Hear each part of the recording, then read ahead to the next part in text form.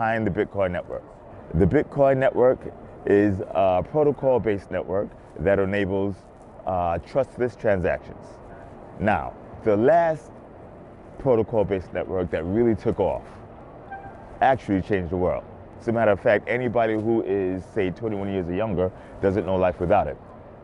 Its protocol was known as TCP IP, with the IP standing for Internet Protocol. This protocol based network, the Internet, allowed for seamless transactions through Internet packet you know, transference. Let's forget the nerdy talk. You're able to send information inexpensively around the world, close to free. This transformed everybody. But in the beginning, or transformed life for everybody, but in the beginning, when the internet was uh, first burgeoning, say 1993, 1994, only nerds and propeller heads and engineers were familiar with it. And then as companies started to catch on, they tried to use this technology, but they used it in a very haphazard way.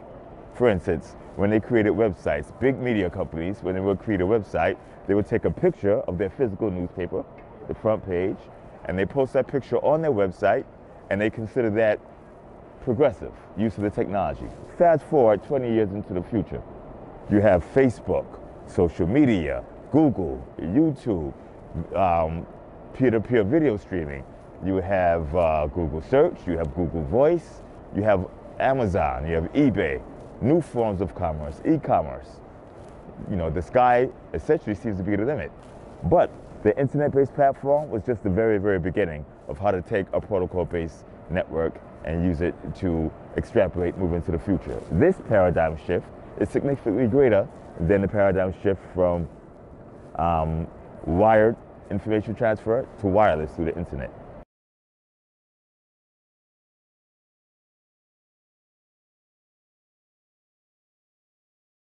And think about the wealth that was created.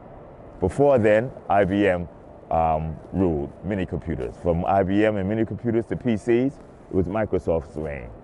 Microsoft survived the paradigm shift from the PC to the internet, but they didn't remain on top.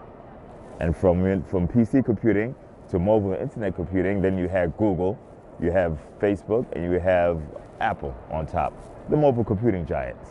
Now, instead of sending information packets from point A to point B, we're now able to send value and consensus-based agreement and trust from point A to point B. Much larger market. So, if you would have wanted to be an investor, early investor in Microsoft, you know, pre-IPO, if you wanted to be an early investor in Google, pre-IPO, or Facebook, or Apple, you missed out, and you missed out on the largest companies in the world, Apple and Google, are vying to be the most uh, the most uh, the largest companies in the world in terms of market share. 700 billion there, 800 billion here. I suppose and I propose that the early companies in value transfer, the peer-to-peer economy, will be the Googles, will be the Apples of the next paradigm. That's where Veritaseum stands.